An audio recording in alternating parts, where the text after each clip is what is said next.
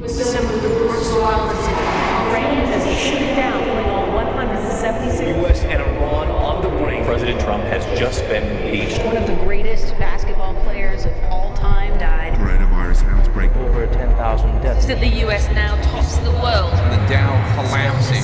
Oil prices plunged below zero. Three decades. Losing under six million